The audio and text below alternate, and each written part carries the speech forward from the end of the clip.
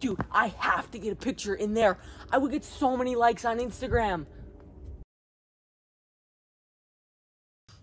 Dude, that's not a really good idea, man. Tigers have killed humans before, and there's a good chance that you'll die.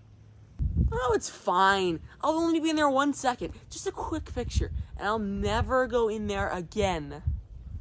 Dude, don't you realize what could happen if you go in there? I might not ever see you again. Your parents, they might not ever see you again. Do you know what else could happen?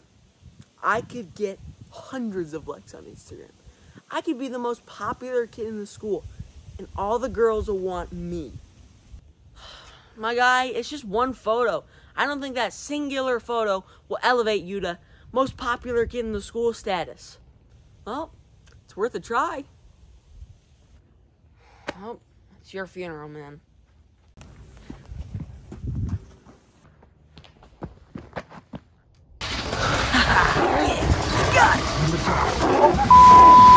No!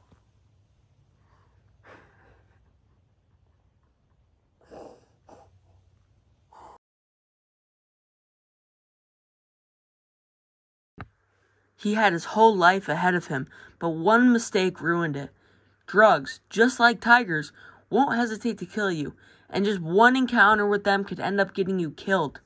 In fact, from 1800 to 2009, over 370,000 people have died from tiger attacks. But from just 1999 to 2019, 841,000 people have died from a drug overdose. This means that drugs kill 23 times more people per year than tigers. Not only can you overdose on drugs, but they can also give you heart or lung disease, mental illness, hepatitis, and even HIV or AIDS.